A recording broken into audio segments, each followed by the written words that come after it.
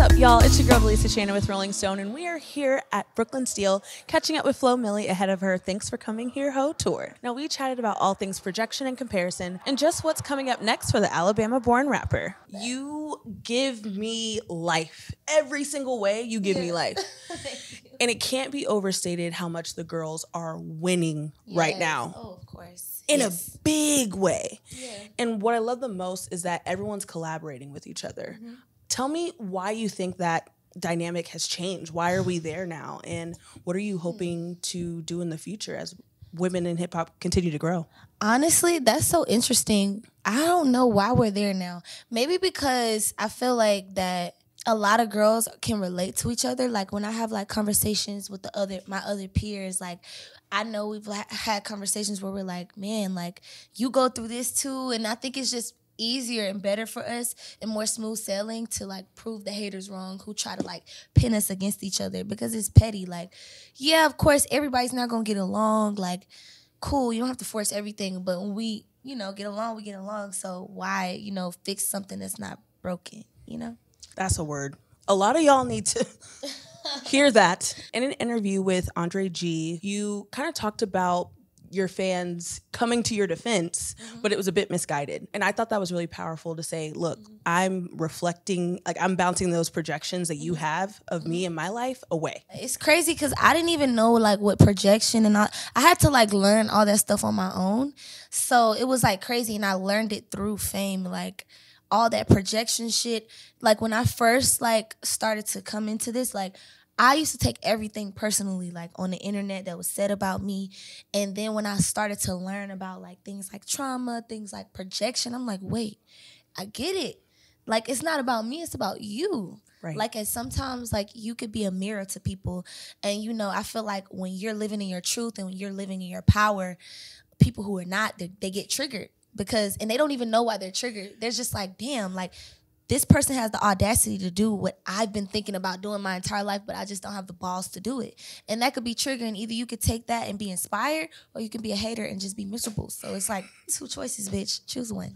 choose up quickly. We we're in desperate need of y'all to choose up. Or how do you stay grounded in those moments where you feel as if maybe someone's trying to take you off your journey or Mm-hmm. distract you or do these things where they're like, she's underrated and you know, Mm-hmm. Yeah, they like you know, and I love to say that. Yeah, and it's like I low key feel like I learned that some people just want to hit tweet.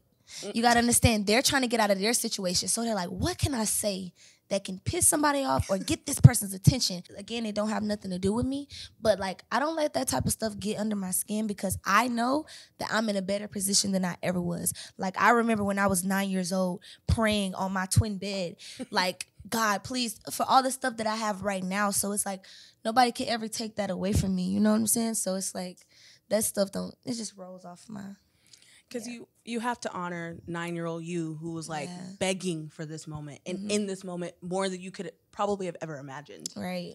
And Yeah. speaking of nine year old you, I want to talk about this journey that we've been on for the last three albums because we've Yes. been in my VH1 reality TV dream.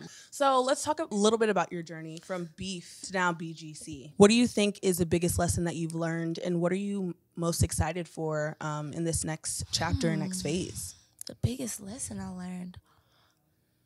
Damn, that's a good question. I can't just say like one lesson. You know, I've learned a lot of lessons ever since beef to now. But I guess right now, I guess I would say like how important living in the moment is Mhm. instead of always like wanting something better. Like I'm that type of person. Like I'm like, all right, once I reach one goal, I don't even like give myself time to like sit in that. You know, I'm always like, mm-hmm. all right, I gotta reach this. And then it's like, wait, just give yourself a moment. Look at where you at right now. Like this is what you asked for 10 years ago. So you gotta kind of like enjoy the moment and appreciate how far you came. So I would say gratitude for sure. We're rounding out this trilogy with the with the album that's coming. Yes. So what's going to be the preparation going into the next the next phase? Because you know, like you said, it's mm. really personal. So this mm-hmm. album, I I feel is going to be a personal offering. Yes. And then what are we gonna get going forward? Um, going forward, I feel like you're just gonna get deeper. How do I say this? Like, I feel like I'm unfolding like different parts of me that people didn't know because mm. I feel like a lot of people have tried to like put me in a box of being like one specific way.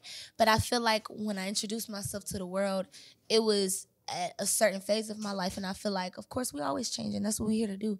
So it's just showing them the growth and like, you know, different parts of me that I've never shown the world cuz I am a very like private person like I like to protect my personality and everything about it because I know how I shine and I know like people be hating so it's like yeah. That part.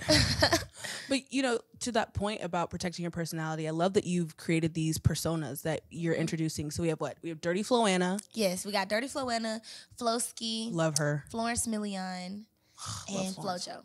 I just love them all. Yeah. I just- thank you. If we could like if if we could get them all in a room, what do you think each of them would say is their favorite song from your discography? Hmm. Okay, I would say Florence Million would probably say her favorite song is Beef FloMix. Um, Dirty Floanna. I okay. The only reason why I can't answer is because some of the songs are not out yet. I knew you were gonna say that. Yeah. I knew you was gonna Yeah. make me mad, and I knew you was gonna say it. yeah, like I just gotta be real because like, you know, when I was first coming out, I feel like all of that was Florence Million. Or Mm. me just I guess finding myself and just kind of sharing what I had so far. But now it's like different depths of me. So yeah, you're gonna see that. Well, I'm upset because I really want to know what Dirty Floanna has to say. Okay, I can tell you that Dirty Floanna is very much a cunt bitch. Like, if I had to give her a sign, she would be a Scorpio. Very much sex I'm symbol. scared of her. Yeah, that's what she gives, girl. I'm scared of her. I'm really so scared, y'all. Yeah. she's she's nothing to play with. Like she's like very revengeful, very like you won't- you won't see her coming. Right. You won't know she's coming.